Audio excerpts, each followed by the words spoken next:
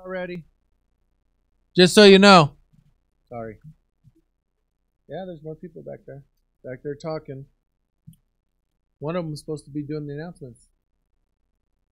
Our vision to develop a congregation of Christ like people who are committed to bringing others to Jesus, helping to heal the hurting, and helping to change the community and the world by demonstrating the love of Christ to everyone. Amen. Hey, there she is. Sorry, you guys, I got carried away. Hi, you guys. Good morning. Good morning. Amen.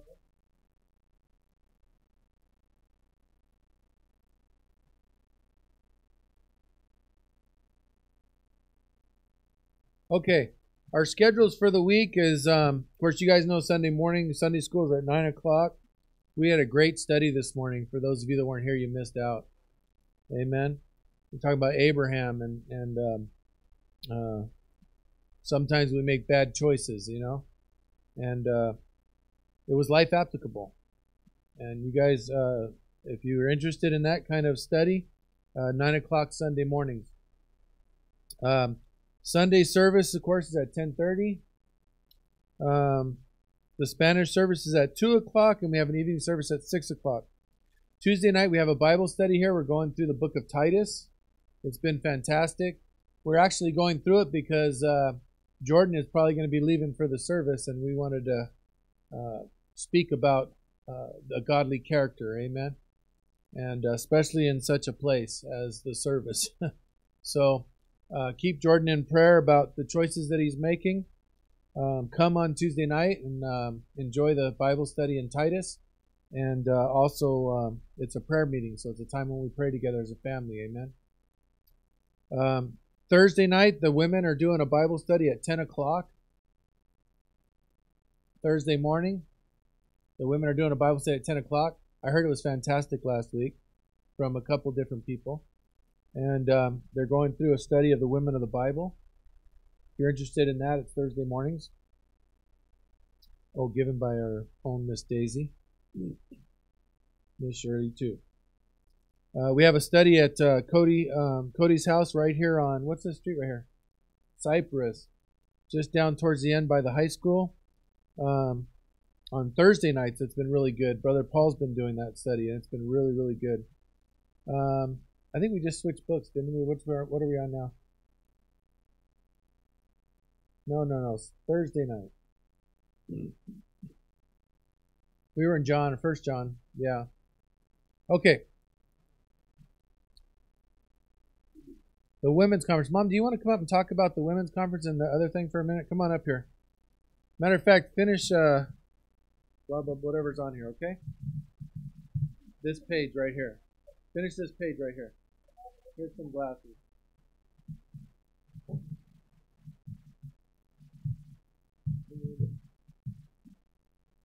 Okay, the women's conference has been changed from June 8th to June 22nd, so that we don't interfere with uh, the morning church here on uh, Saturday.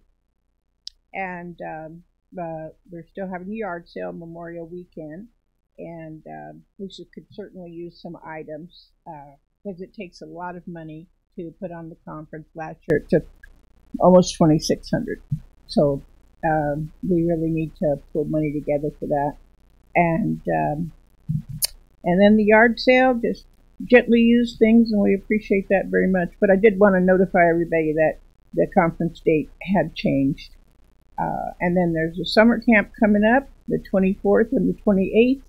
And if you're interested, please see George or Jorge and uh, see him right away because that's so close. And uh, that costs a lot of money too. We need to know what children want to go and pull that all together. So thank you very much.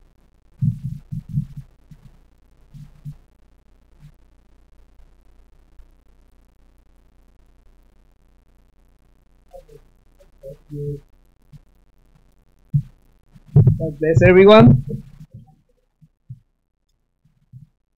I got Psalms 32, 22, Psalm 32.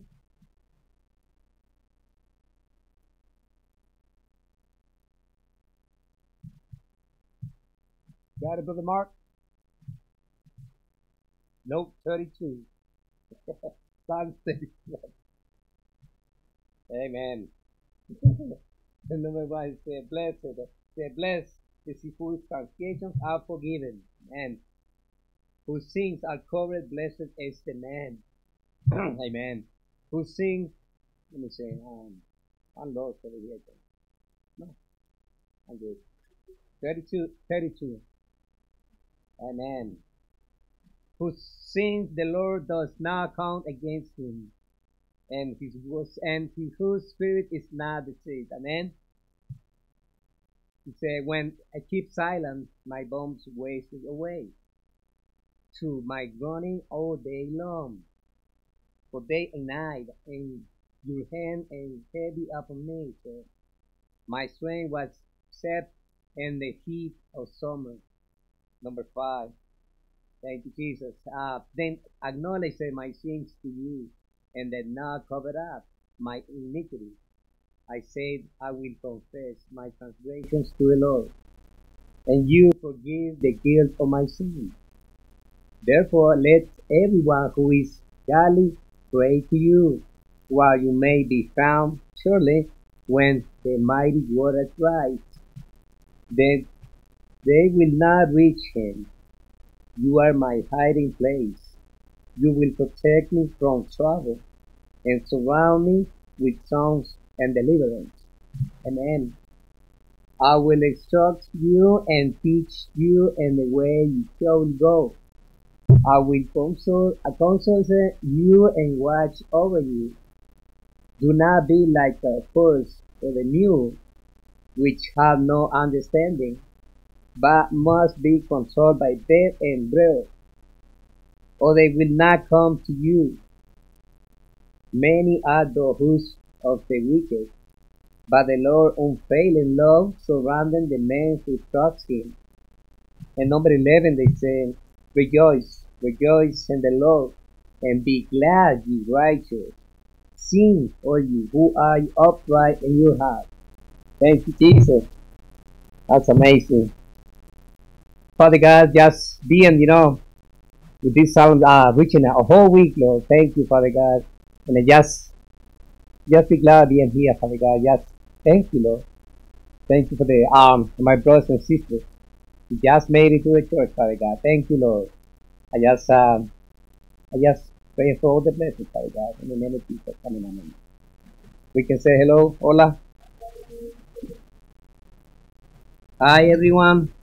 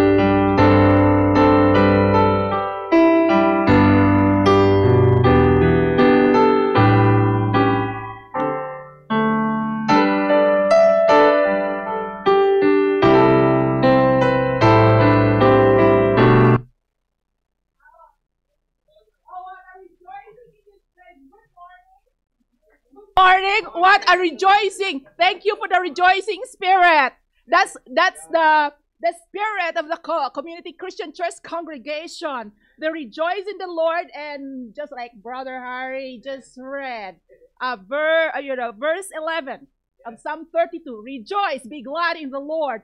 Rejoice in the Lord always. And I say, rejoice. And my medit- uh, my exaltation is rejoice. That's who we are in Christ. If we are in Christ, we are joyful.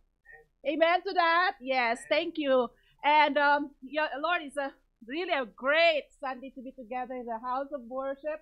We love to see Miss Tina, Miss Rose be back here. We thank you for them and uh, how nice to be to be seeing our brothers and sisters in the Lord, and we're always praying for you. That's the kind of church that we have here. We're rejoicing, we're prayerful, and we are a loving church because of Christ. Amen. So let's open our Bible in First Samuel um, chapter 2. Rejoice in the Lord. Glory to God. Father, thank you for uh, the Holy Spirit filling us this place, flooding in this place, flooding in our hearts. And as our minds are ready, Lord, to be renewed today, as our hearts are ready to accept and receive the word, the living word and the living water, the bread of life. And I thank you, Lord, that every ears are going to be uh, attuned, Lord, to you, to hear your word today and all um, the entire service and all the meditations and the sermons. We thank you that we are going to be refreshed today. And thank you for the Holy Spirit's presence giving us the joy. And thank you, Lord, again that every everyone right now, Lord, is fixing their eyes on you because, Lord, we know that our Redeemer lives, and we know that you're going to feed us today by your word. I praise you for it in the name of Jesus. Amen. Amen. So, First Samuel um, uh, 2 verses 1 to 2. But uh, I'll give you a little background in this. Uh, first chapter of First Samuel, we were talking here about uh, Hannah. Who remembers Hannah? You know, the mother of Samuel, the mother of Samuel. And at the time, she was barren. And she was persecuted with the other wives of Elkanah. Elkanah was the priest in the house of the Lord. And at that time, she was, you know, she was barren, and and Peninnah, the other wife of Elkanah, had children. So she's been, she's been praying. Her faith to the Lord was so strong, and she keeps praying and praying and praying to the Lord. And and you know, in this uh, verses that we're going to have this morning, it turns out that that had Hannah here articulated her belief, her faith, and her rejoicing in the Lord because the Lord gave her the son. And that is Samuel. Nothing is impossible to the Lord. The same thing that happened also to Sarah. And um, in this, he, she has able to, to speak greatly of and boldly of, of her rejoicing to the Lord. And, it's not only for her own rejoicing, but she knows that the Messiah will come. And that's the same thing. Here, we know that the Messiah had come and he will come again, and we are so thankful for it. So that's that's the um, gist of the first chapter, First Samuel, and then uh, chapter 2, verse 1 says, And Hannah prayed, My heart rejoices in the Lord, my horn is exalted in the Lord. I smile at my enemies because I rejoice in your salvation. No one is holy like the Lord for there is none besides you, nor there is any rock like our God. Amen. There's no other rock, there's no other God. Apart from Jesus, there is no God. Apart from Him, there's no Savior. That's why when we come here every Sunday, is that, well, Lord, we know about you, but we want to go deeper about you. We don't want to just only know you in that head knowledge, but we know you deeper in our heart, and our relationship is being built through our time with you, spending time with you, and growing in you and sharing in you. That's how we are because God loves to see each of us growing in faith, maturing in faith, keeps obeying, being humble in heart, and being having the love of God in each of us. And today, as we sing this uh, for our praise and worship, it's just like Hannah. Hannah rejoices in the Lord of what he had done. But because of before even even at the time happened that nothing happened in her life because of her barren years, she was not able to have a child. Yet she is able to have that faith in the Lord, and the same thing with us. Have the faith like Hannah. Have that kind of boldness like Hannah. Have that kind of rejoicing like Hannah, who gave the son. Uh, Samuel became the prophet, and also he was a counsel to the kings, even to the King David. And that's how, church, nothing is impossible to God because the hands of our God are not short. The hands of our God are always lifting us up. That's the kind of God that we serve, and we honor and we exalt in this place. Yes, honor and glory to Jesus Christ forever and ever. And everybody says, Amen. Glory. Thank you, Lord. Mhm. Thank you, Jesus. Thank you. Thank you, Pastor Matt. My heart rejoices in my holy Lord. Yes. So let us praise and worship Jesus Christ our Lord now. Ready, church? Yes.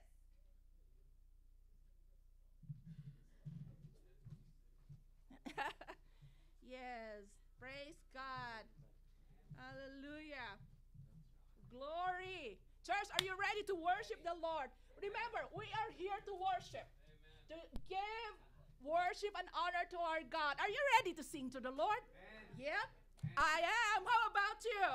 How about you? Okay, let's let's uh, stand on our feet and let us worship the Lord from our heart.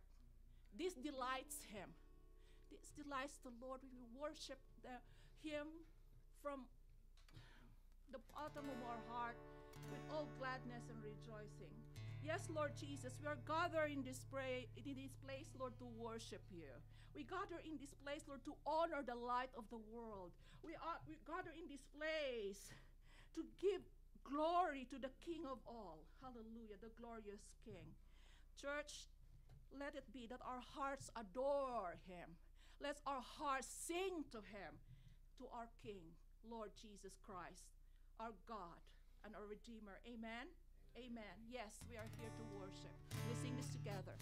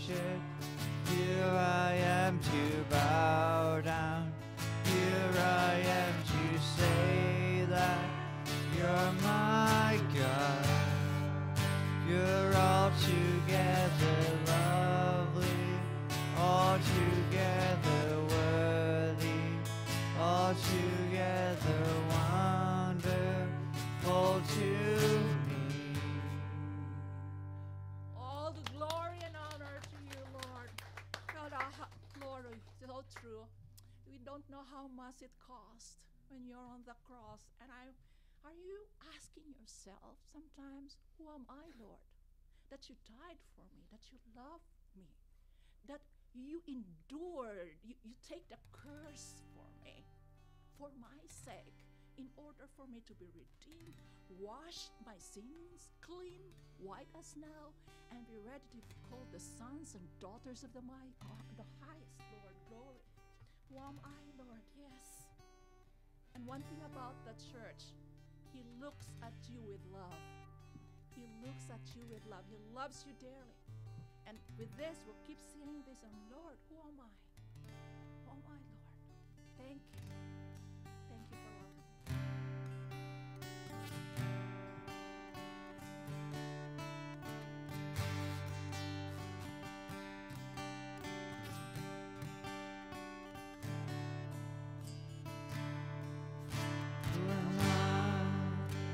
The Lord of all the earth would care to know my name, would care to feel my hurt?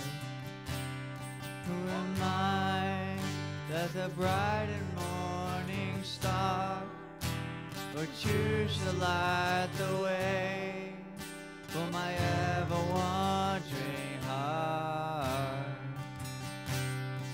because of who I am, but because of what you've done.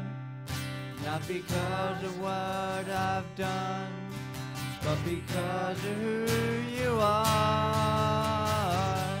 I am a flower quickly fading, here today and gone tomorrow. A wave tossed in the ocean, a vapor in the wind. Still, you hear me when I'm calling. Lord, you catch me when I'm falling. You told me who I am. I am yours.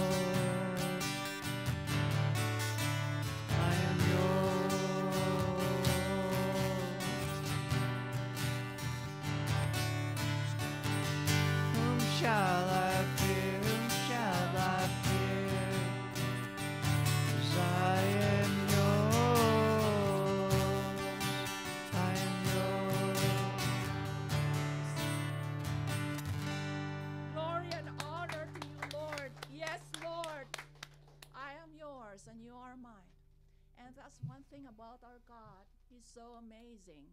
His grace is always amazing. How wonderful it is to reflect on, this, on the lyrics of this song. Looking at our lives, we were so wretched, and now we are redeemed. The blood of Jesus and the finished work on the cross give us the victory in Christ Jesus. And we are standing here right now together as a church, as his body, redeemed by the blood and saying, Thank you, Lord, for that amazing grace. My chains are gone. We are glad, church. We are blessed to be called the sons and daughters of God with chains already broken because of Jesus Christ. Amen. All right, let's sing this song. Thank you, Jesus. Amazing grace.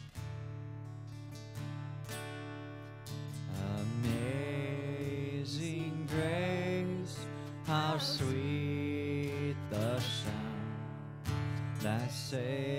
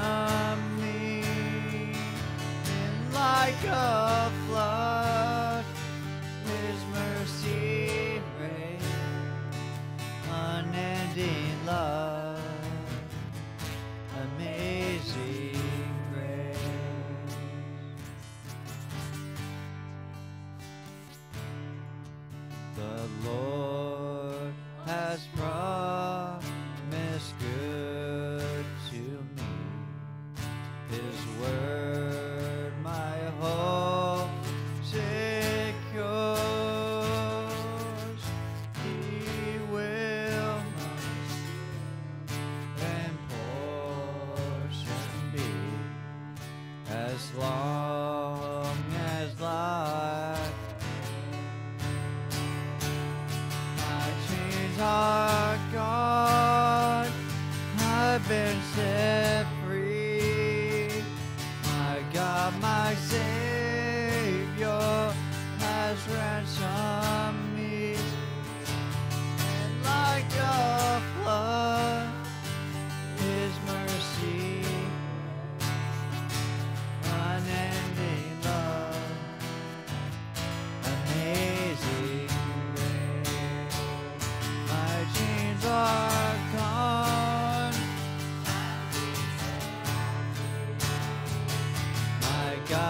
I say.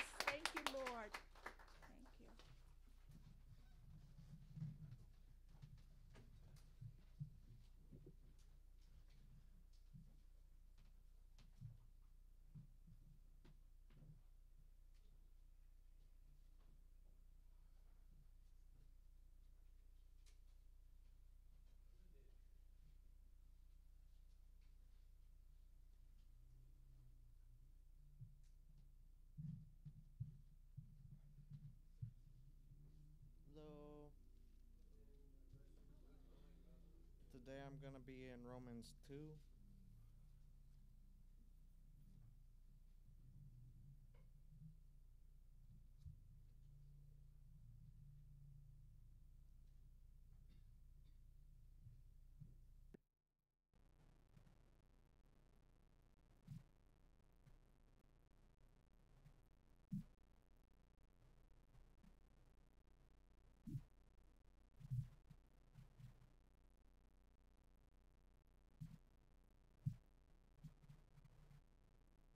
It says, You therefore have no excuse, you who pass judgment on someone else. For at whatever point you judge the other, you are condemning yourself. Because you who pass judgment do the same things. Now we know that God's judgment against those who do such things is based on truth. So, when you, a mere man, pass judgment on them, yet do the same things, do you think that you will escape God's judgment? Or do you show contempt for the riches, the riches of his kindness, tolerance, and patience, not realizing that God's kindness leads you towards repent, repentance? But because of your stubbornness and your unrepentant heart, you are storing up wrath against yourself for the day of God's wrath, when his righteous judgment will be revealed. God will give each person according to what he has done. Pretty self explanatory, except there's one thing. One key verse that I highlighted darker than all the rest. Verse 4 it says, Or do you show contempt for the riches of his kindness, tolerance, and patience? Realizing God's kindness leads you towards repentance.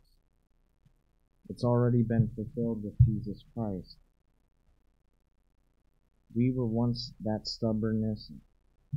We had it all when we were in the world, in our flesh.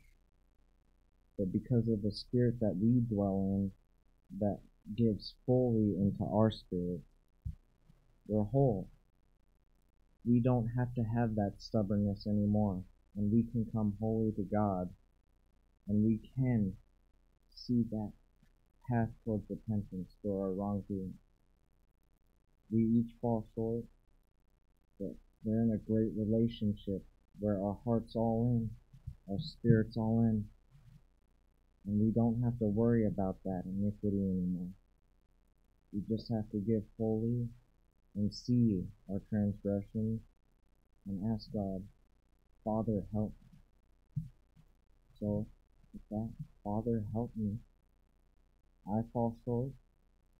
I don't think there's a person in the flesh who can fully compare because the only one who did was Jesus. Yet, we draw on His Spirit so we can reach that.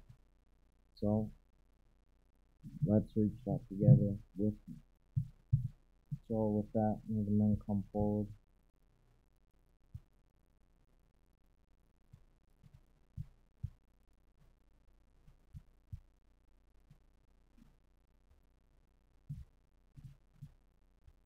Dear Heavenly Father, we just thank you for the great relationship we have with you, Father. Father, just may our hearts feel fully unburdened, Father, as we take on your peace. May nothing in this world tear us apart from you, Father. And just may we stay in you, Father, and see your great glory for what it is. Just let our hearts be prepared for you, Father. We thank you for all things in Jesus' name.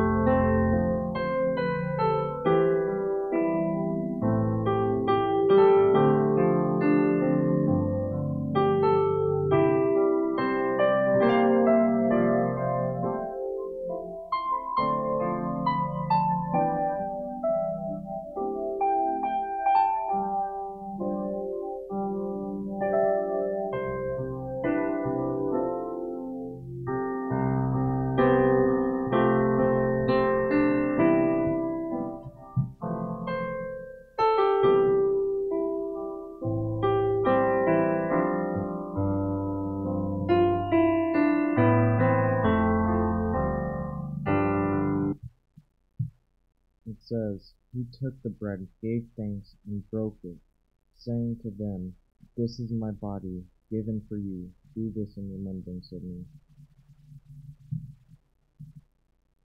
He then took the cup, saying, This cup is the new covenant in my blood, which is poured out for you.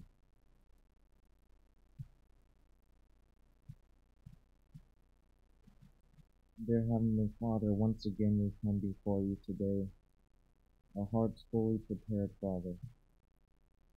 Father, just strengthen us for the times that are to come, and just strengthen us that we might fully see you, Father, and commune with you.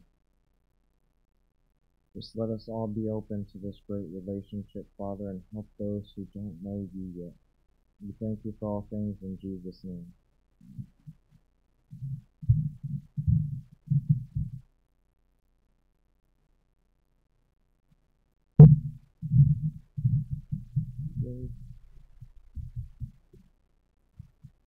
I mean, uh, Psalm 55, uh, verses 16 and 18.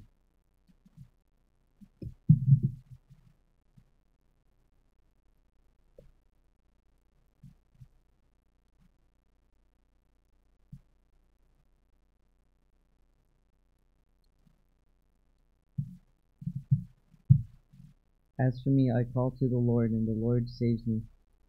E- evening, morning, and noon, I cry out in distress, and he hears my voice. He rescues me unharmed from the battle waged against me, even though many oppose me. Um, well, this, what that means is that even though we're in trouble and all those who are against us are trying to bring us down and further away from God, all, all we have to do is call upon Him and He'll help us.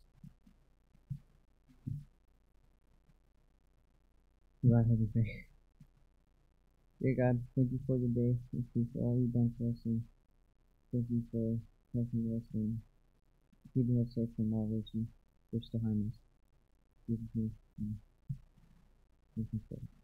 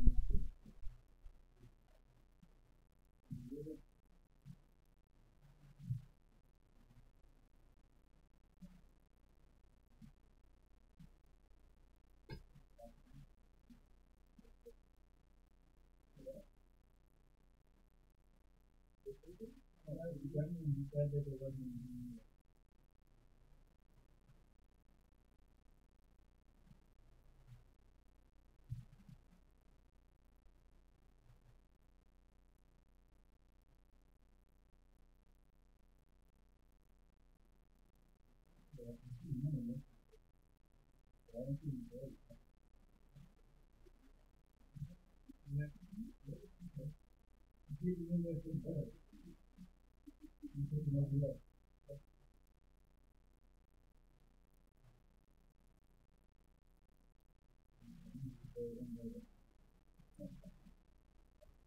we go.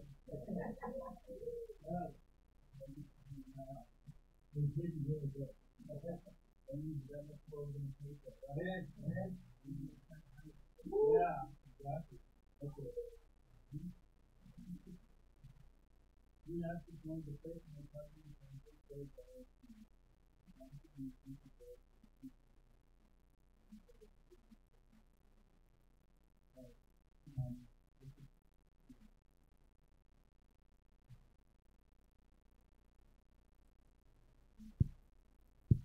That means to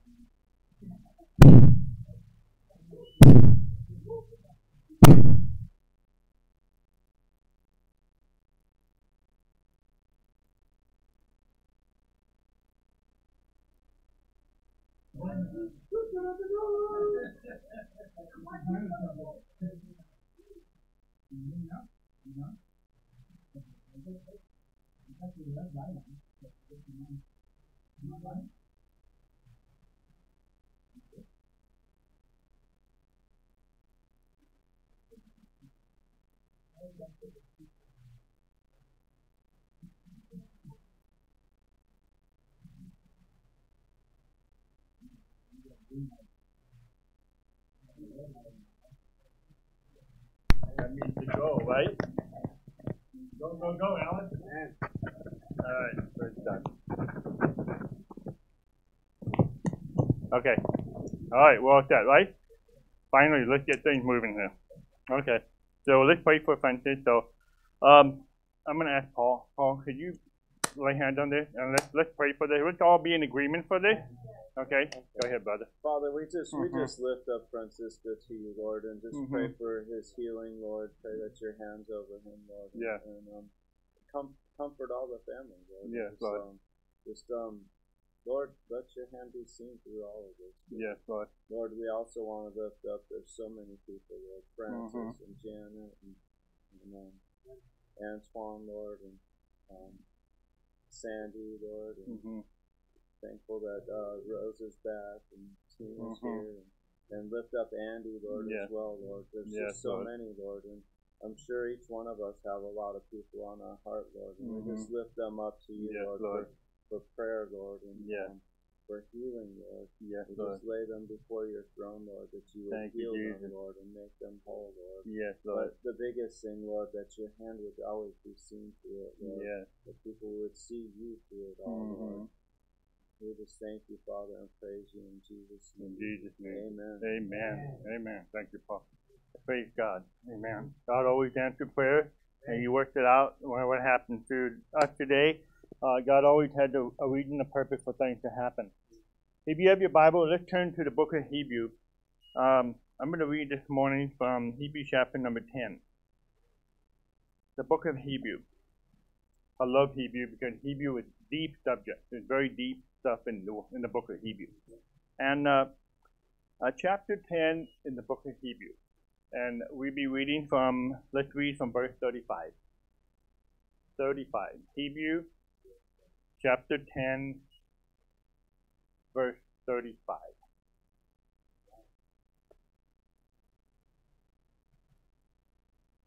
Cast not away, therefore, your confidence, which had great recompense of reward.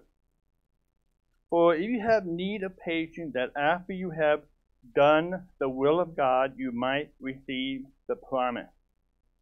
For a little while, and he that shall come will come and will not tarry. Now, I want to point out here don't cast away your confidence in the Word of God. Don't cast away the Word of God. Don't cast away that which God has given us. God has given us exceeding great and precious promise great promises. And what he's meaning, don't give up on it. Don't be lighthearted about it. Don't give up on and, and not trust God completely. In these last days that we're living, there's a tremendous attempt made against us to try to weaken our faith. There's a lot of work of Satan operating in many ways to try to trip us up. And so he said, don't cast away. Don't give up your confidence. Don't give up that which God has already promised you. He that perseveres to the end shall be saved. We have to persevere. We have to hold in that which God has given us. It's easy in this society to, to, to slide and slip and, and to compromise with the world. It's so easy because the world has had a powerful influence on us. If we are not embedded and grounded in the Word of God, we will be swept away with the things of the world. We'll be caught up with the things of the world because the world has a powerful effect. They, they, they tried to brainwash us through many means. And we have to be careful what we listen to. We have to be careful what we take heed to. The only thing you should hold on to is the Word of God. It's having the confidence in God's Word. Don't cast away that confidence because this is going to take us through the very end. This is going to bring us out into the promised land. Nothing else but the Word of God and the obedience to the Lord. And he said, after you have been patient, after you've done the will of God, after you, in a little while, he said, okay, after you have need of patience, after you have done the will of God, you might receive the promise. You might receive the promise.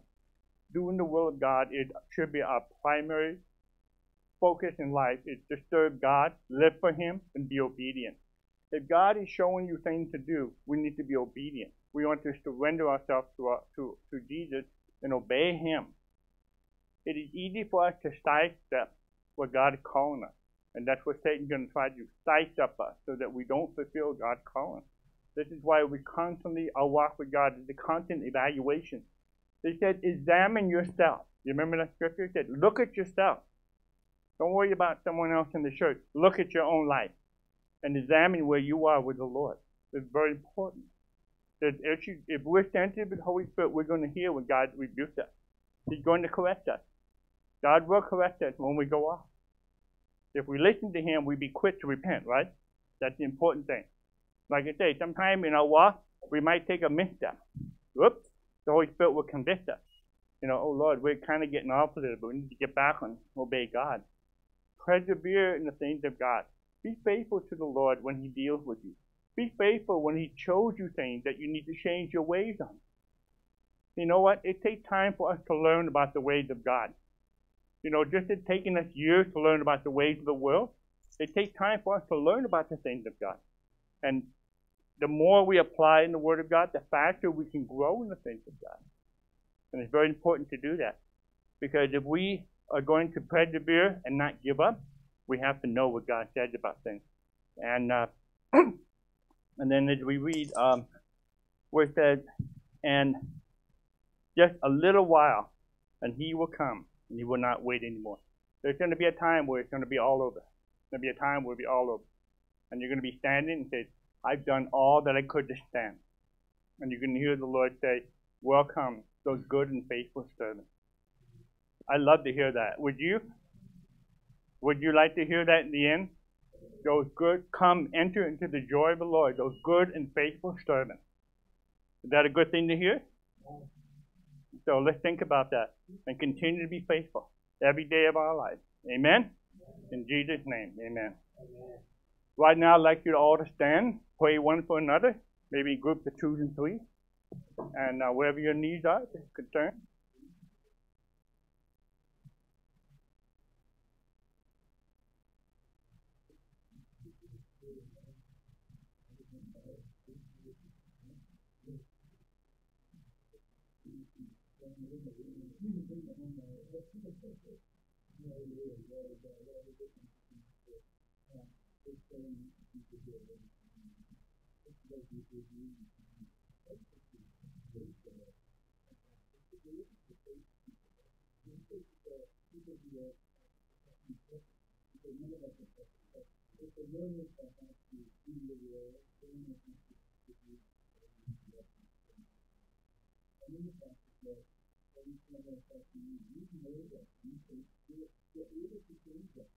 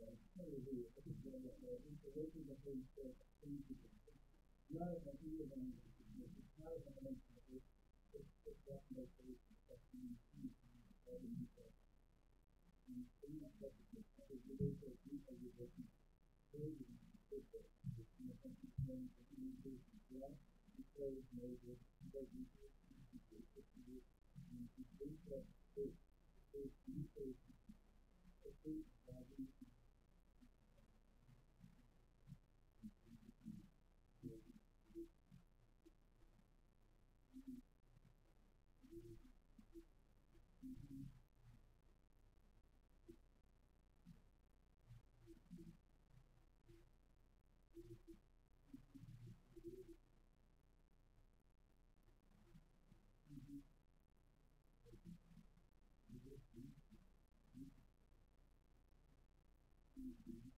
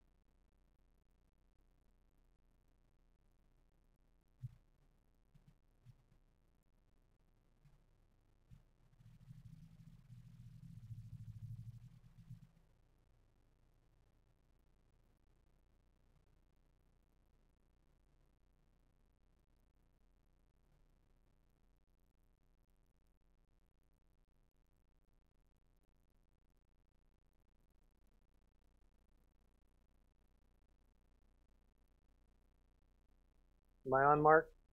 I am? Okay.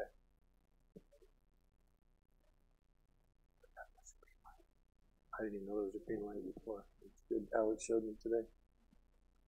Everybody's hearing that on TV. You have to be careful what you say when the thing's on. You have to be careful what you say no matter what. Amen. Mhm. Amen. Only what's in your heart, and it better be right. Amen.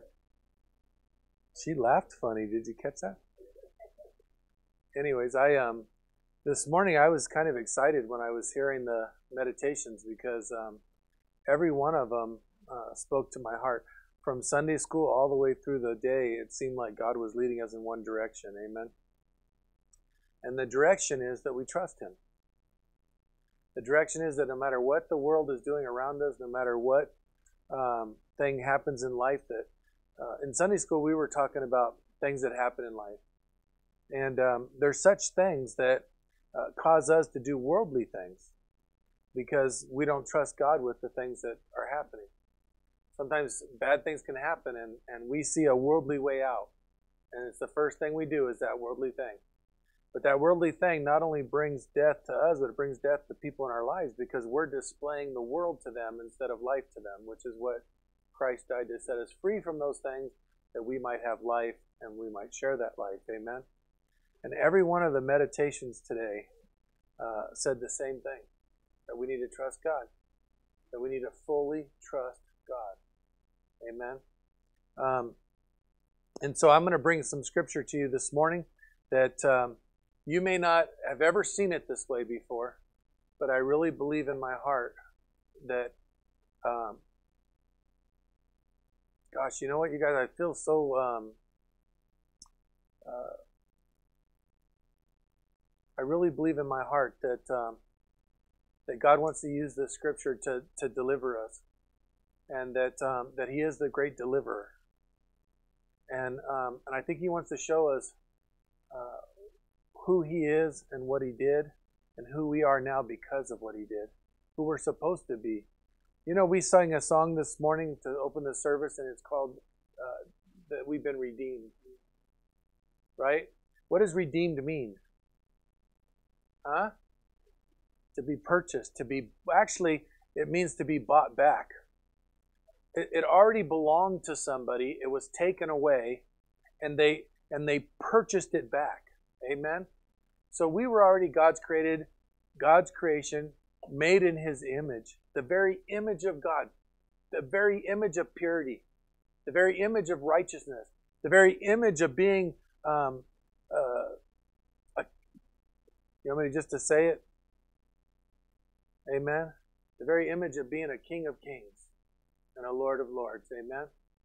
We were created in that image. Okay? And the, and the enemy, the, the devil, this is his playground, the Bible says that he's the prince of this world. The enemy and the world that he created for us to live in. Not the world God created for us. Amen.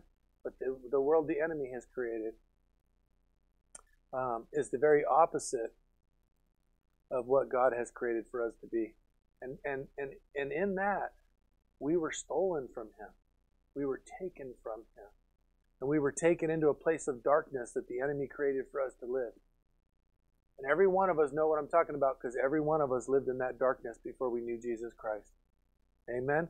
Didn't, when you accepted Jesus Christ as your Lord and Savior, didn't a great light appear? Didn't the truth appear? Huh? A great truth appeared, didn't it? And, and everything started to make sense. Everything that we had heard about, everything that people had tried to tell us, all of a sudden made sense, and we came into the light. Amen. I remember this. This is terrible. It's worldly. I'm just going to tell you in advance, okay? But I remember a show called Poltergeist. Was it Poltergeist in the 80s? Poltergeist in the 80s? And, and they kept telling the little girl, Go to the light. Go to the light. And by doing so, she came back into the house and was saved, right? Or something like that. Anyways, go to the light, people. Amen. No, I'm just teasing. But it's the truth, though. A great light came on, and we saw the truth, right? And and you know what's sad is that we still live in a world of darkness. The world is dark all around us. Every everything that um, it's like in Sunday school we were talking about Abraham going into Egypt right? So he, he waits until he gets to the border of Egypt, and a great fear comes over him. A great fear comes over him because he's looking at his wife and he sees how beautiful she is. And she says, You know, he says to her, If we enter Egypt, people are going to see how beautiful you are, and they're going to kill me. They're going to kill me, right? And they're going to take you. They're going to let you live. Why? Because of her great beauty, right? So he tells his wife, You need to lie and tell them you're my sister. Then I'll have favor with them because of who you are. Right? And isn't it funny? We're a lot like that in the world, aren't we? Something comes against us, and this happened because of a great famine came into the land. Right? And so he looked up instead of looking to Christ, instead of looking to God, he looked up and he saw Egypt right? And he and the Nile River fed everything, and it was all green and beautiful, and a place that he could go and, and know that he could be saved. Know that he could have food for his family. Amen. Right? So he looks up and he sees this beautiful place. We look up and we see things in the world. We see a way out. Something happens and we look up and we see a way out. You know what I mean? And he sees this beautiful place, and so he decides he's going to go there. Well, on the way there, he sees how beautiful his wife is and he starts to fear. But the whole time, God promised him. God promised him that the whole nation of Israel was going to come from his seed. That him and Sarah were going to have a baby. Amen? So he didn't have to go to Egypt in fear. He could have went to Egypt and changed Egypt because of who God is in his life. But instead, he looked to the world he looked to the world and he gave his wife to another man. And he brought that other man sickness and death. The Bible says that Pharaoh called him in when he found out the truth and he said, What have you done to me? Because God put a plague upon Pharaoh and his people, a disease, and made him sick. Because he laid with uh, Abraham's wife. He said, What have you done to me? And when we live our lives in the world like the rest of the world in sin, and we live our lives in the world in darkness, and we make choices and decisions through that world, then we bring death to the people around us. When God created us in His image to bring life. Just like we were brought life because somebody chose to live in Christ in our presence. Amen? Isn't that a beautiful thing? So this story is like off the wall today. I mean, you know, I'm going to bring you into hopefully understanding it. I'm going to try to do something a little different and read it all the way through and then go back and break it down for you, okay? I'm going to try, Granny. She's making fun of me back there, like, yeah, right. That's going to happen. We're talking about a man who was demon possessed with, with what they say was a legion. I looked up a legion because you know I really didn't know. I mean, I had this understanding of I thought ten thousand men or this or that. A Roman legion in the army was six thousand men, and this man said that when Jesus asked him who he was, they said, "I am legion, because I am many." I don't know how many demons he had, but he had a lot of things in the world inside of him. A lot of worldly things inside of him.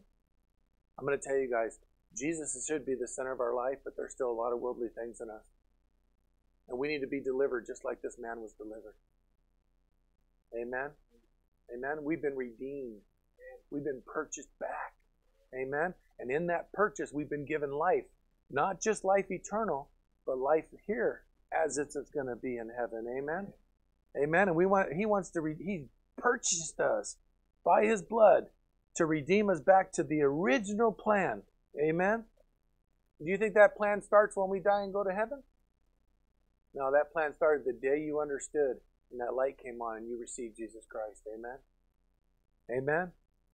So, in saying all that, I haven't prayed. So let's pray. Father, we just want to come to you, Lord, and just thank you, Father, for just what an amazing God you are, Lord. I, you know what I love about this church, Lord, is that I've already been fed this morning. I'm the pastor, and I'm being fed, Lord.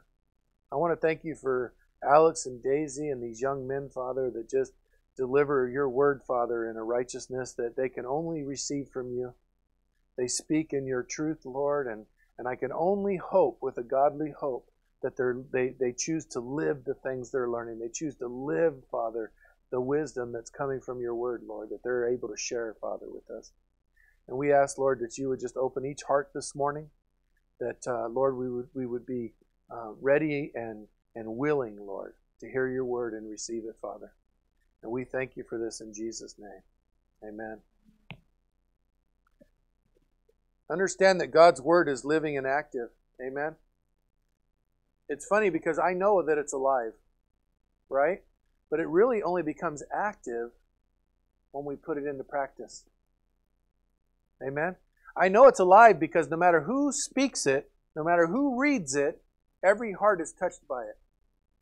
Okay? Every one of us have a great conviction that comes over us, even if it's a simple word, a simple verse. And the, and the conviction isn't a bad thing, it's a great thing. Because it's exactly what, if we give into that conviction, we choose to walk with Christ, then it'll draw us to Him. Amen? It reveals our truth so that we can receive His truth. You see the beauty of God's Word? And so don't, don't, don't, just understand something. It only becomes active when you allow that conviction in your heart to receive it. Amen? And act upon it. It's always alive because it's going to always share with us. But it's only active when we choose it. Amen? So I say that because uh, you know the biggest thing that I have here in the church and in every church I've ever been in in 20 something years of ministry? The only the, the thing that bothers me the most is that I have uh, people have always, and I, I myself have, have done this. People have always come to me and said, What a great message it is. And I learned this from it, I learned that from it. And not five minutes later in the parking lot, they're doing the opposite thing. It only becomes really real when you put it into action. Amen? And, and, and that action is what God is doing through the redemptive blood of Christ. You get it? And so understand this when we read this scripture, okay? We are in Mark chapter 5. I'm hoping to share this with you in a way you've never heard it, but it's always, but it's completely in God's truth. Amen. Okay, Granny, I'm going to try my hardest to read it all the way through. Chapter 5, 1. You guys there? Mark 5, 1. It says when when uh, this was right after remember Jesus had calmed the storm when he was going through the river uh, through the uh, Sea of Galilee, and he had just calmed the storm. He reaches the other side, and here's what it says: They went across uh, the lake to the region of where?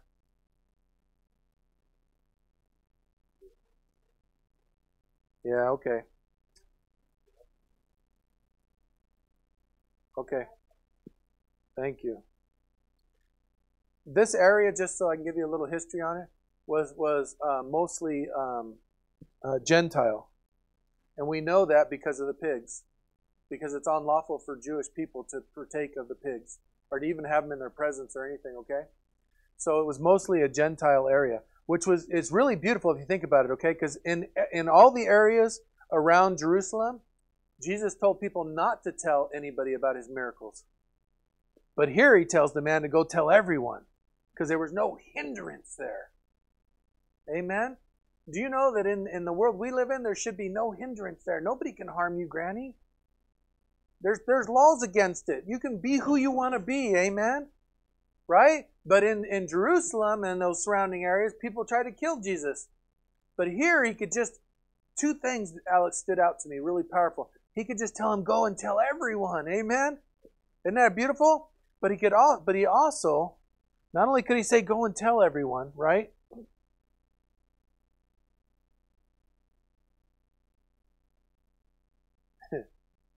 But he, but he also, um, not only could he tell him to go and tell everyone, but he also um, was able to um, just let go and share everything with them, knowing, knowing. See, he, he went there knowing that they weren't Jewish. He went there knowing that, that he came not just for the Jews, but for all men. Amen? And he could go there freely and, and, and do something wonderful with them and, and, know, and know that even when he left, that that man was going to carry on his work. Isn't that crazy? And it's everything we've been talking about. Watch what it says. It says, uh, so they crossed over. Okay, when Jesus got out of the boat, a man with an evil spirit came from the tombs and met with him. And met him. This man lived in, in the tombs, and no one could bind him any more, not even with chain, not even with a chain. For he had often been chained hand and foot, but he tore the chains apart and broke the irons on his feet. No one, no one was strong enough to subdue him. Night and day among the tombs and in the hills, he, he would cry out and cut himself with the stones. When he saw Jesus from a distance, he ran and fell on his knees in front of him. He shouted at the top of his voice, What do you want with me, Jesus, Son of the Most High God? Swear by swear to me, swear to God that you won't uh, torture me. For Jesus had said to him, Come out of him, come out of this man, you evil spirit. Then Jesus asked him, What is your name? My name is Legion, he replied, for we are many. And he began uh, he begged Jesus again and again not to send him into the out of the area. A large herd of pigs was feeding on the nearby hillside. The demons begged Jesus, "Send us among the pigs. Allow us to go into them." He gave them permission, and the evil spirits came out and went into the pigs. The herd, about 2,000 in number, rushed down the steep bank into the lake and were drowned. Those tending the pigs ran off and reported this to the town and countryside, and the, and the people went out to see what had happened. When they came to Jesus, they saw the man. Listen to this beautiful thing. This is such a beautiful thing. That we should be experiencing this every day. When, when, when they came to Jesus, they saw the man who had been possessed by the, by the legion of demons sitting there, dressed. In, in Luke, it says he ran around naked, he didn't wear clothes. Dressed and in his right mind. And they were afraid. Those who had seen it could uh, had those who had seen it told the people what had happened to the demon possessed man and told about the pigs as well. Then the people began to plead with Jesus, leave their region. As Jesus was getting into the boat, the man who had been demon possessed uh, begged to go with him. And Jesus, Jesus did not let him, but said, Go home to your family and tell them how much the Lord has done for you and how he, and how he had mercy on you. So the man went away and began to tell in the Decapolis how much Jesus had done for him. And all the people were amazed. Amen. Isn't that a crazy story? Isn't it? So back up. I almost got there, Granny. I only stopped a couple times. I did good. Amen.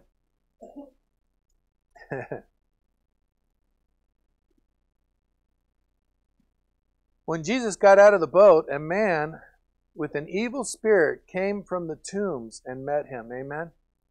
You guys know that, that the tombs were caves? They were caves, and, and, they, and the people would find these caves. And if you go there today, those caves are still there. Okay? And, and they would bury people in, the, in these caves. And they called them the tombs. And so when I think about our lives before Christ, huh?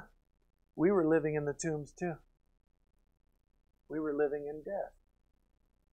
And we were and we were literally being possessed by the world around us and everything in it. Huh? This this is a great example of something wonderful if we really look at it, okay, from what God delivered us from. Isn't it beautiful? Right? Watch what it says. I was so thrilled when God gave me this um, uh, this understanding of this scripture, right? Because sometimes we can just read through it and say, "Oh, God delivered this man who was demon possessed," and blah blah blah. We don't really get the full picture, and we think, "Oh, he was possessed by demons," you know. But I'm going to tell you guys something. We all were until we were delivered. And even now, as children of God, having Jesus Christ in our heart, Alex was saying it this morning, we're not perfect, we fall. Amen? But we're meant to get up. Okay? And the reason why we still fall is because even though we can't be possessed anymore, because only one master can live in this house, amen? It doesn't mean we're not being tormented all around us. There's a spiritual realm. There's a spiritual realm that the enemy has created to be in the lives of people that don't know Christ and to be all around the lives of people who do. Everywhere we read in the Bible that this realm is in the church. It's even within the church. Okay? And Jesus died, right, Granny? To deliver us from that. That we might have a new life in Him. Amen? We've been purchased back. So in saying that, go to Genesis 1.26. Keep your finger in, in Mark. Joan, you didn't keep your finger there. So, oops. 126, Harry. As well, that's kind of crazy considering it's the first one. Pastor Memo. He's using my words. I used to do that to him when he was a baby Christian. Is that the Old or New Testament? Amen. I can't think of Memo as a baby Christian. Isn't that funny? Look at Memo and I go, man, he surpassed me a long time ago. I want to catch up. Amen. You guys there? Everybody there?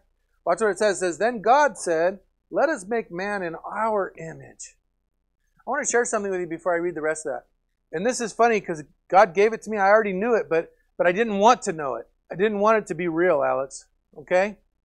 But God can't tell you and I what to do. He can't make us do something. Did you know that? He told the demon, "You get out of that man." That demon left, and they and they were in fear. And Luke, it says that they were in fear that he was going to cast them into the abyss, eternal damnation. Another time, he said to the de- the demon said to him, "Have you come before the appointed time?" you see, he commands the wind. Remember, he commands the storms. He commands disease. He commands the world that he created. Amen? But he doesn't command man. He gave man free will. Man has to choose. But he created us in his image originally to be like him, to be with him, to have a relationship with him. And the enemy stole that. The enemy took that away. And so he had to send his own son to die for our sins. In Sunday school, we learned that he didn't take on just my sin or your sin or just the sin of those who are going to be saved, but he took all man's sin, past, present, and future, from Adam and Eve to the last man on earth, and he took it upon the cross. And you know what kills me about that? Is that you and I, we have sin in our life and it hurts. And it hurts to overcome it. It hurts to give it up, doesn't it?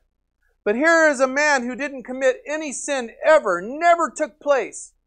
Right? And he didn't just take on one man's sin, he took on the world's sin. Every single person. And I'm going to tell you something.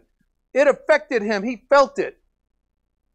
You and I, we have a hard time feeling our own sin. Can you imagine feeling billions and billions and billions of people's sin? All cast upon you at one time upon the cross for something you didn't do?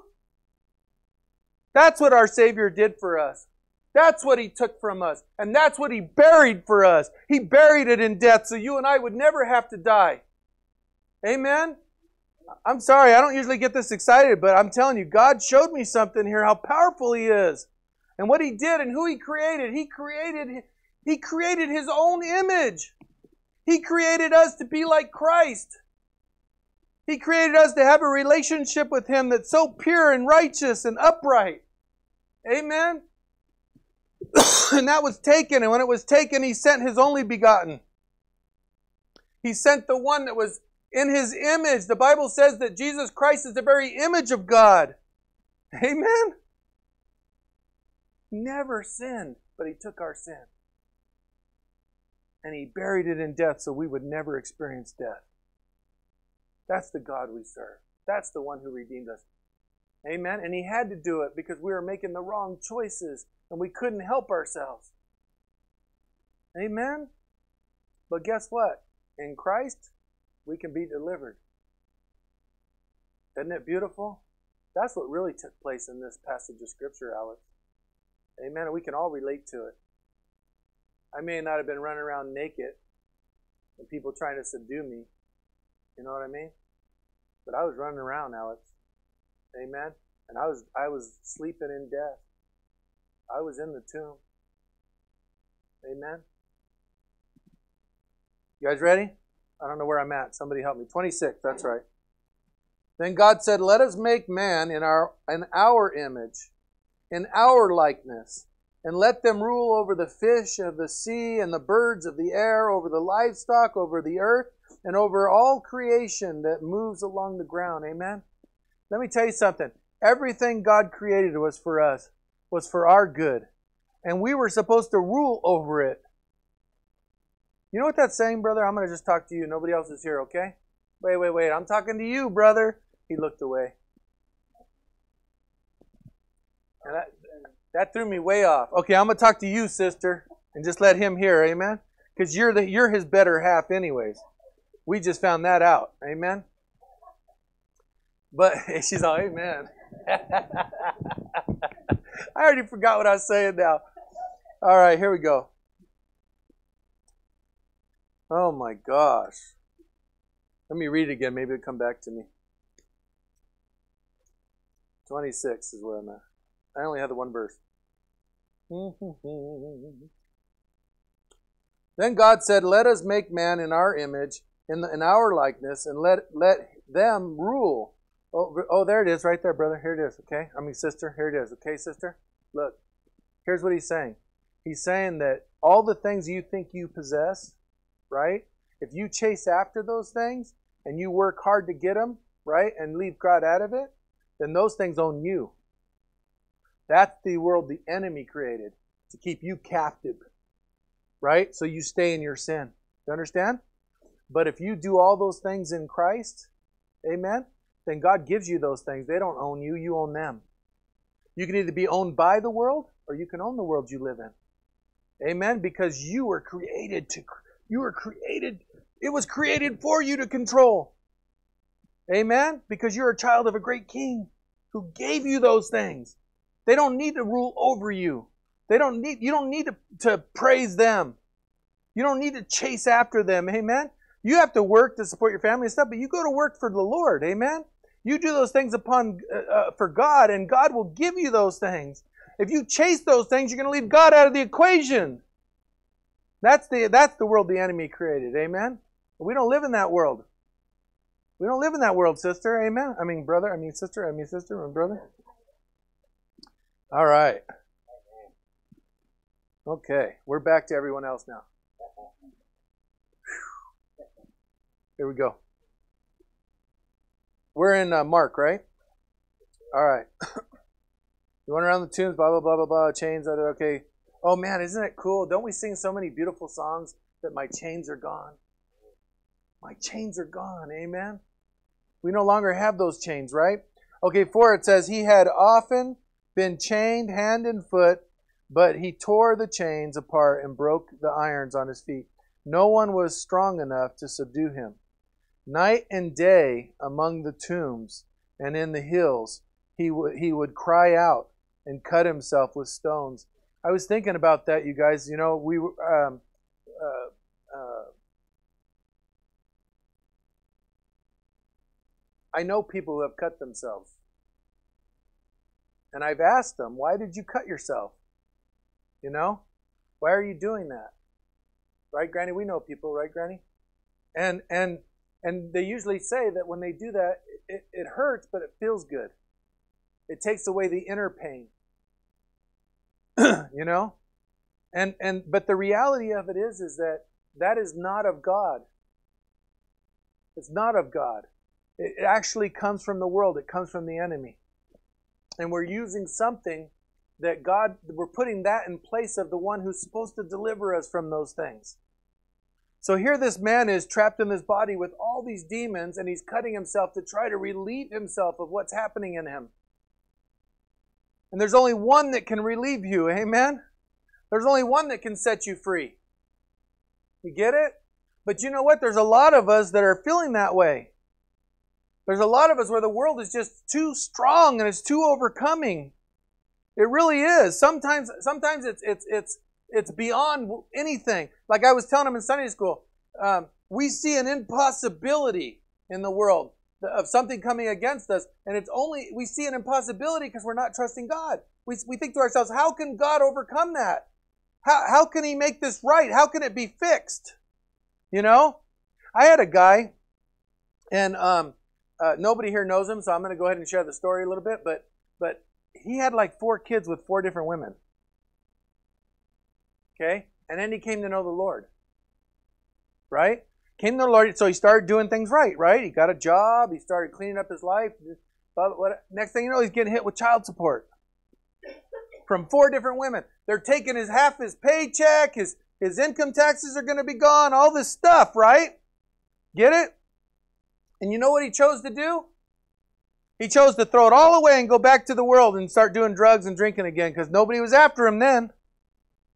See, in, in the world, we see those things sometimes and, and we're trying to see them in God, but, but we see an impossibility. We see an impossibility because we don't trust God. We're not trusting Him. You know what I told him? I pleaded with him. I begged him. I said, Look, just keep doing the right thing. God's going to deliver you. He's going to give you away. He knows that you sinned. He knows that stuff you did wasn't right. Amen? But He's not going to call you to a new life and not help you. He's not going to call you to, to something real that He promises a better life. Amen? And He's not going to deliver you. I told him, stay faithful. But it was easier to go back to the world, easier to go back to death than to trust God. See that? We need to trust God. And we need to know that all things are possible in Him. All things are. All things are possible. Okay? You know what's sad is that is that people don't trust him and they fall back away, right? And then what happens? They, they, they, they actually, whether you like it or not, they lead others back in that direction. See? So not only are you falling, but so are people around you. Where was I? Five, six? Oh, we were talking about cutting yourself, blah, blah, blah. There's always another way, amen? There's always another way. You just have to trust the Lord. When he saw Jesus, I like this part. He had no choice. Granted, you and I have a choice because we were created to be creators, to be we were created in his image to, to have free will and to make choices. Amen. But this demon, who was created by the, by death, had no choice. He had to submit. He didn't go there to worship God. He went there in fear of God. He got on his knees and trembled before God. Let me tell you something. Things in the world that are coming against you, if you'll stand in Christ, they will tremble before him. They have no power over you. That's the truth. We give them power. The enemy only has the power we give him. We were created in the image of God. Amen? And we've been set free in Christ. Haven't we? Do you believe it? Do you? See, because if there's doubt, that's the enemy. If there's doubt, it's the enemy. A Christian should live without doubt. Amen? A Christian should know the truth. You get it? When he, when he saw Jesus from a distance, he ran and fell on his knees in front of him. You and I, we need to get on our knees in front of him, but we make the choice to do it. He had no choice. He had You know what, brother? I was praying this morning. I was praying so hard this morning because there's people that I know that God wants to deliver. Amen. And I was praying so hard because I thought, Lord, I, I want to pray with them. I want to see you deliver them. Amen. And the enemy was placing doubt in me. Are you not good enough to pray for that? Those people are possessed. They're going to come against you. You're this, you're that, you're not this, you're not that. You know, the enemy. We should live without doubt. And when we're called, we should go. Amen? Right? If we see somebody hurting and broken, and we know that they're enslaved, then we should go. If we're called, we should go. And we should do it without doubt, knowing they could be delivered. Amen? We were delivered, Francis. I have no idea how I was. I am telling you. Only, only through the grace of God. Amen? And I say grace because grace um, caused me to fear and grace took my fears away. Amen? Amen? That's a song, just so you know, Paul. Huh? I know, right? Doesn't it blow your mind? And yet we are.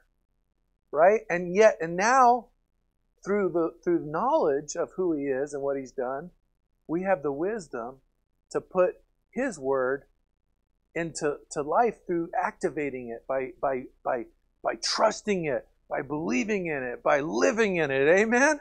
Isn't it beautiful? So now we know that we know that we know who we are. Man. Six? Oh, I mean, somebody brought me water. Give me a second.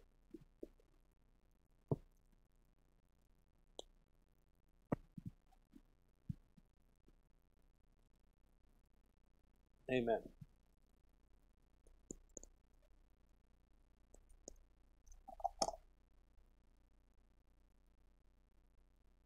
I love this part. When you start to activate the power of God, the world will scream. They, I'm telling you, the world will scream. When he saw Jesus from a distance, he ran and fell at his knees in front of him. And uh, he shouted at the top of his voice, What do you want with me, Jesus, Son of the Most High? Amen. Jesus, Son of the Most High. Let me explain something to you. This is very powerful, and this scripture really, really needs to be explained. It's not something you just read past. Okay? The enemy is doing in us everything he can to humiliate God. We are created by God and for God in the image of God. And when he can tear you down, he's tearing down God. He's tearing down the Creator. And he acknowledged who Jesus was. And the enemy should acknowledge who you are. Amen? You get it? Alex, you are the child of the Most High God. And you were created in His image to be holy, to be righteous. Amen? We serve a God of, of, of spirit and truth and of righteousness. And He wants us to serve Him in spirit and truth and in his righteousness. Amen? You were created for that very purpose. And the enemy did everything in his power to destroy that. And he's still trying to destroy that around us. You get it? And he acknowledged who he was.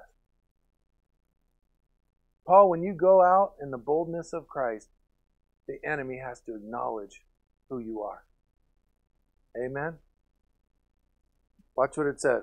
We give them a choice to receive or deny Christ every time we're in their presence. Amen. You guys ready? He shouted at the top of his voice, What do you want with me, Jesus, Son of the Most High God? Swear to God that you won't tor- uh, torture me. One time when we were out, this is years ago, Memo's here, so I want to share it because he was there. But we were out just knocking on doors, you know? And we were in this bad trailer park. Granny, it was the worst, worse than the one you lived on, on Whitram. Way worse. It was bad. We were actually scared, actually, to be honest with you. And we were praying after each door going around this trailer park because we knew that there was like drug addicts, drunkards, gangbangers, probably child molesters. I mean, all kinds of stuff were in that park, huh, Memo? And I was actually scared. I had Katie Foster and and uh, Chantel with us, and there was women, you know, and I was like watching them, like I was like like a hawk, you know what I mean? And they were willing; they're just going door. I'm like, well, you know. And this one man starts to ha- harass the women, and I ran up between the women and the man, and he's asking, "Who sent you?" And he was getting kind of violent. He was starting to get violent, huh, Memo? Who sent you? And he, I believe he was possessed. Let me tell you why. I'm going to share this with you to blow your mind. True story. And I said, I, am here in the name of Jesus Christ. And I reached out and took his hand. He didn't, he didn't offer it. I took it. And the man went to his knees. Started crying. We picked him up and we took him back to the church. And he gave his life to Christ. Amen. I took him home to his dad's house that day. And I found out a couple things. His wife was cheating on him with her drug dealer and he was at that trailer to get his brother's gun to kill them. And even then, I didn't believe it. No way, Lord. I took him home to meet his dad, and his dad told me he just got out after doing 22 years for doing just that. He went to jail for a little while, and when he got out, his wife was dancing in a strip club, and he went in there and shot the place up. Did 22 years for it. Six months later, his dad put him in a program. We're having a food line. Memo used to run the food bank, and he's in the line. He's yelling, Pastor Matt, Pastor Matt. He's all happy. His life's different. Amen. Amen. Let me tell you guys something. The enemy submits when you walk in the power of God. Amen. The enemy submits. You guys ready? I don't know where I'm at. Help me out, Paul. Oh, okay, right here. Swear to God that you won't torment, torture me. For Jesus had said, Come out of this man, you evil spirit. Amen. Isn't that beautiful? You guys, I'm telling you that every single human being that doesn't know Jesus Christ as their Lord and Savior knows about Him, and they all want to be delivered. You don't have the power to deliver them, but you can walk in the power that does. Amen. They still have to make a free will choice because, like I said, God can't command us. He does command us, and we need to submit. Understand? Let's turn the page. Then Jesus asked him, What is your name? You know, if we were honest when we got saved, I'll never forget this, Francis. It's so funny. I shared it a couple times, but I knew the sinner that I was. And God's word had been convicting my heart over and over and over again. And I kept holding it at bay and holding it at bay, but he kept showing me things. And let me tell you, there wasn't one thing, Matthew V. There was thousands of things that were wrong in my life. You know? And he kept showing them to me and showing them to me. But you know, I was young, you know, and indestructible. I could do whatever I want. You know what I mean? I was that kind of person, you know? I still am in some. No, just you. Stop it. So, but you know what happened? You know what really happened? Is that the day I decided to give my life to Christ, and I knew it. It was funny. I was going around telling people, I'm going to give my life to Christ today. And I hadn't done it yet, Granny, but I knew it. It was like I was inspired, but it hadn't happened. Wouldn't it have been terrible to die in that in that place before I had a chance? I should have done it immediately, right? But I just felt like it had to be the altar call, you know? And so I'm going around telling people that day, and I'm getting more and more excited and more and more, you know? But it was the funniest thing, Paul. When it came time, I didn't want to get out of my seat. It was like somebody nailed me down to the seat, you know? It was so heavy. And I got up, and as I began to walk forward, I started to feel the weight of all those things that God was sharing with me. You know, when you're in the presence of God, you kneel before Him when you're not, when you don't know Him. The demon, the demons kneeled before Him. They had no choice. And as I got closer to the altar, the, the weight became so heavy. I told some of you it was like a, you ever see a pallet of bricks? It felt like I had a pallet of bricks on my back. I had no choice but to bow down. I'm telling you, I didn't go up to the pastor or anybody. I just walked right past him. I was like, Ugh. I went right to my knees. And I accepted my Lord and Savior. Amen. And in that moment, all that stuff was lifted. I was free from it. I know what this man that had the legion in him felt like. I know what he felt like. Didn't you know what he felt like? I felt it. I know. All that was delivered from me. Man, when I got up from the altar, you guys, I, I promise you, I know it's impossible. I, I'm going to tell you an impossibility and it happened, okay, Rose? I know it's impossible, Rose. My feet never touched the ground leaving the building. Man, after he lifted all that off of me, I was as white as a, uh, as light as a feather. I mean, I just I walked out of the building never touching the ground. It's the most beautiful feeling. You know, Francis, every day there's things the enemy's trying to do and the world's doing around us that we participate in. And if we let it, we'll, those bricks will just get piled on us again until we're so heavy, you know? The only difference is now in Christ we feel the weight. He wants us to be delivered every day if we have to. We need to give it back to Him every day. We need to go to our knees every day. We need to make a choice to, to give that to Him. Amen? And to get up new every day, there's new mercies in God. Right? The worst sin for a Christian isn't the things the world that he's doing in the world. The worst sin for a Christian is not getting up, not giving those things to God and trying again a new day. Amen? Because you just pile those things back on. We're already saved. We've been delivered. I have eternal life in Jesus Christ. Amen? Let's finish this up. Where am I? My name is Legion, he replied. My name is Legion, for we are many.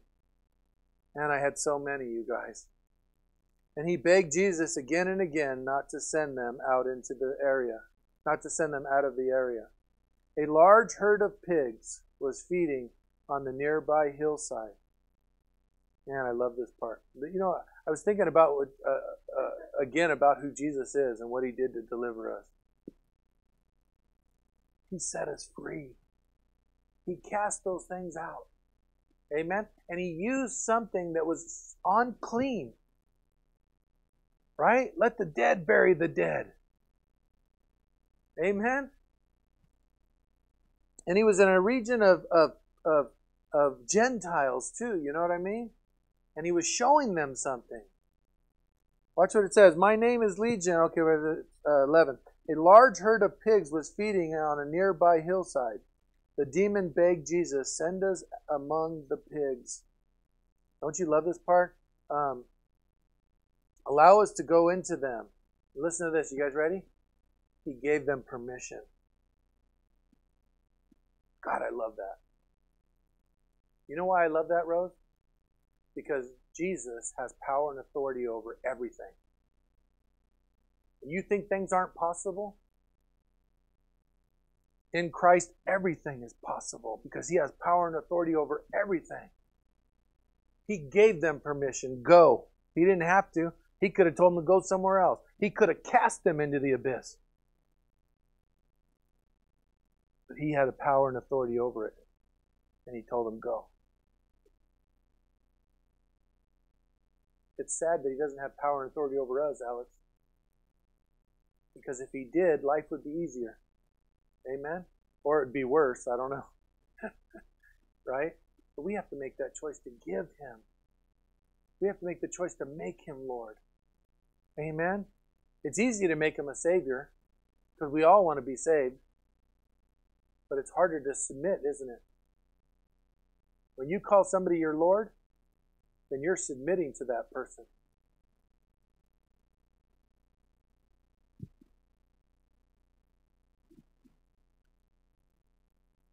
Yeah, right? That's where I'm at. Make me Lord because I just can't do it on my own. right? I'm sorry. Just, come on. You know, to, to, answer to that, you know what, Granny, is funny? Is um, uh, there's things I've been caught in I couldn't get out of. I felt like there was no way out, you know? But every day I would I would make the promise to give that to God. And that's what I was telling you about not getting up is the wrong thing. You know what I mean? So every day I would give that to God and then go do it. And I'd say, God, I don't want to do that anymore. Why am I still doing it? Take this from me. I don't know, you know? And every day I would make that same prayer and I'd start off again and I would try real hard and then I would do it. You know? But I never gave up. And then one day I thought to myself, when did I stop doing that? Amen? Right? Because God wants to deliver us. And His Word is alive and active. Amen? And I started to put it into practice. And through that practice, He delivered me. Isn't that beautiful? You guys ready?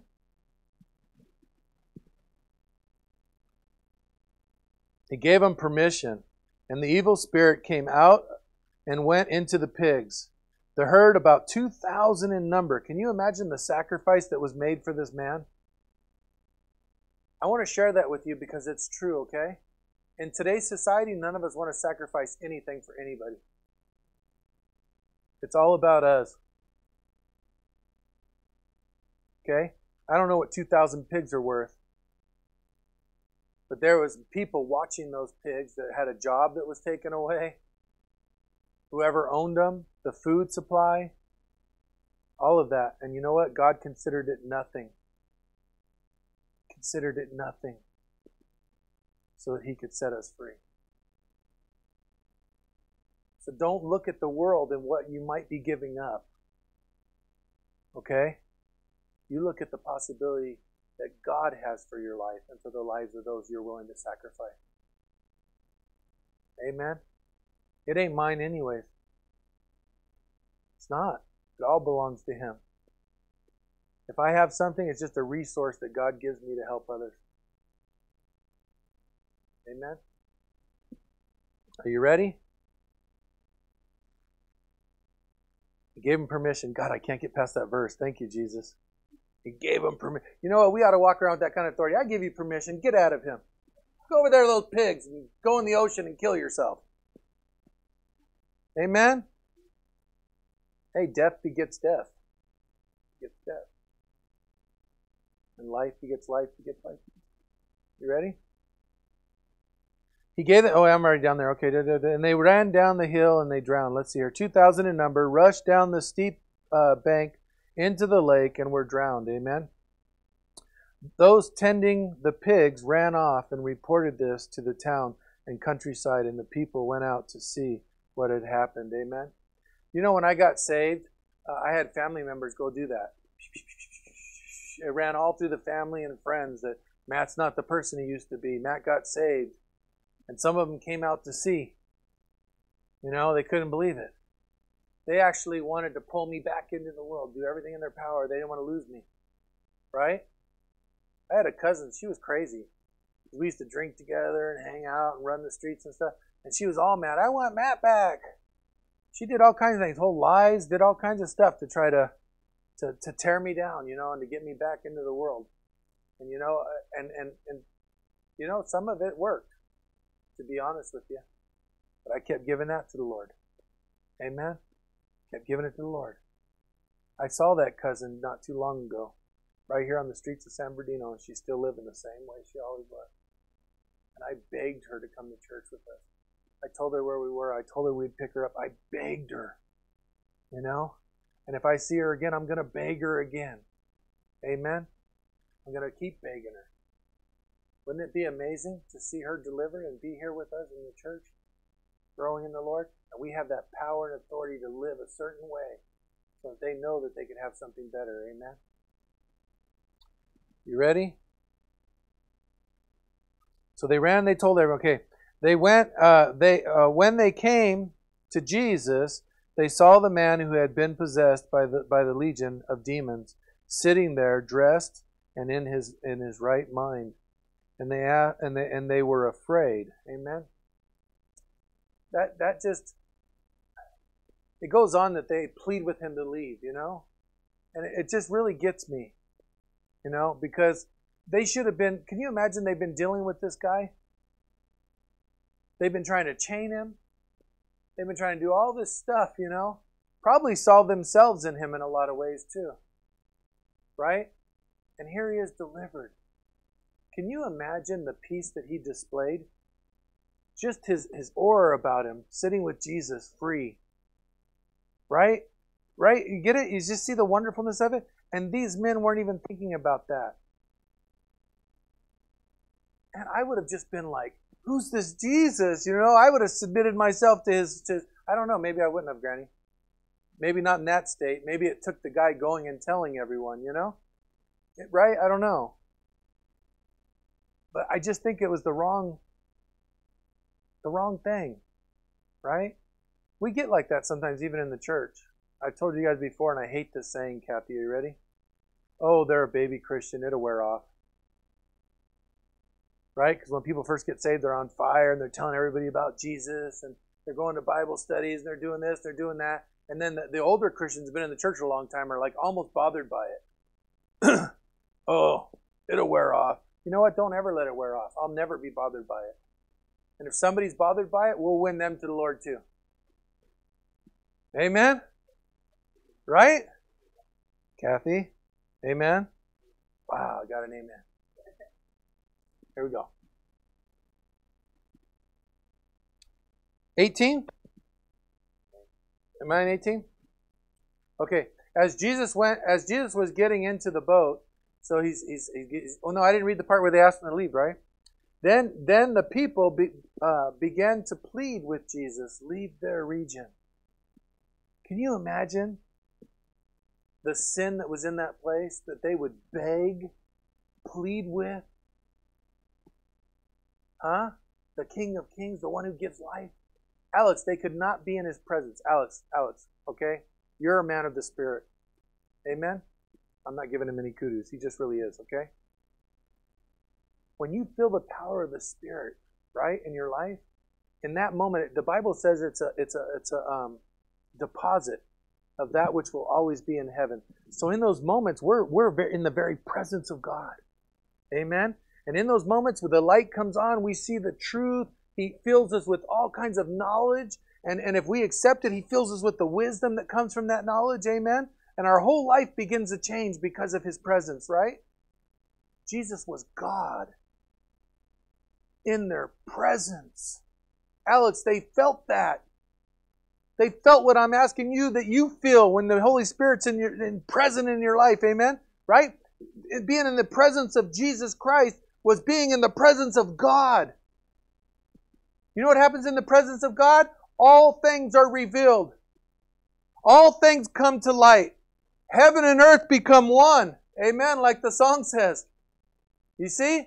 And everywhere Jesus walked, they felt that presence. Everywhere he walked, they saw their sin. Everywhere he walked, they, they saw the truth.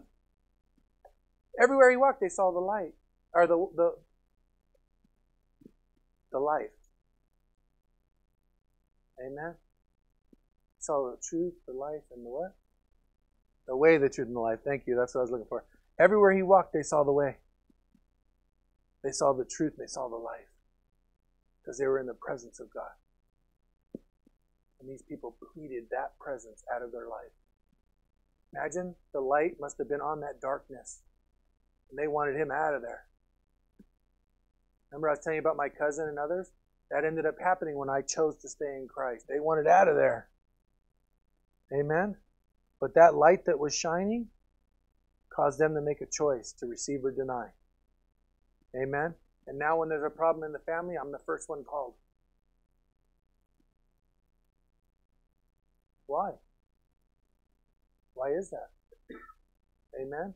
Because we, yeah, because we set an example for the world of who Christ is and what they can have in Him.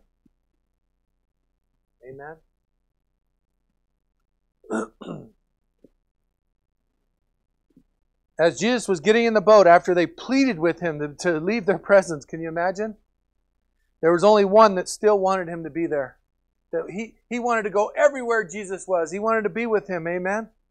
Look what it says. As Jesus was getting into the boat, the man who had been demon possessed begged to go with him. Jesus did not let him, but said, This is funny because when he was in Jerusalem or, or in the areas around the Jewish people, he never told people this. He told them to be quiet, not to tell people who he was. That his time had not yet come. But because he was amongst the Gentiles, see, they were free to share. You're free to share, you guys. Amen? You ready? Jesus did not let him, but he said, Go home to your family and tell them how much the Lord has done for you.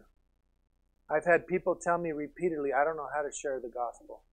I don't know how to share Christ with people. Jesus made it really simple here, okay? And I've been saying it for years. All you have to do is share your life in Christ with them. Share who you are now. Share what God has done for you. Amen? And you know what? Jesus probably wouldn't have been able to be heard in that area because of the darkness and them pleading with him to leave, right? But this man could be heard. This man could shed light. This man that's been delivered knows the truth, knows what God had done for him, and he could share that with those people. That's all Jesus is asking us is to share our new life everything he's done for us with the people around us. Amen. Go home to your family and tell them how much the Lord has done for you and how he has uh, how he had mercy on you. Amen. Imagine the mercy he's talking about isn't punishment or like uh, to to not bring punishment upon somebody, but to, to deliver them from that. Wow. Isn't that so much better? Isn't that so beautiful? So the man went away and began to tell in the Decapolis, which is everywhere in the region of the of the Gentiles back then in the known world back then. Okay, he said uh, how much Jesus had done for you, and all the people were amazed. Which means that one man. I think of another man when I think about this, but that one man touched the lives of thousands, probably right. Your life should touch the lives of thousands. See, but that I was thinking about. Remember the um, Philip was put on the road, and the the eunuch came by, and he was reading um, Isaiah, and he said, he said, "Do you know what you're reading?" He said, "No, I don't." And so Philip was um, invited up on the the chariot with him, and he began to share the gospel message with him. Do you know who it is you're reading about? Let me tell you what Jesus has done. Amen. And and you know what was funny, Granny, in that scripture in Acts is that where Philip was, he was delivering all kinds of people were coming to know Jesus. Hundreds of them. And, and the Holy Spirit took him from that and put him with one person. Why would he do that? Because that one person was going to go to a place that others never had been before and spread the gospel. Amen? And that's the way God wants to use our lives. So the whole message today leads up to one thing Amen? You know who God is. It's time to live for Him so that others can have life. Amen? We've been delivered, Alex. They need to be delivered. Amen? Father, I just want to come to you, Lord, just thanking you for today. Thank you for your word, Lord. What an amazing God you are. And, uh, Lord, I want to pray for those that weren't here today. I was thinking about a few, Father, and the few I was thinking about, Lord.